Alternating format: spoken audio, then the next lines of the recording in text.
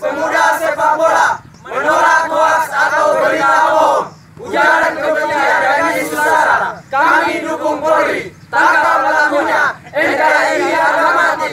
Bravo Polsek Tebara, Bravo Polres Mamuju, Polri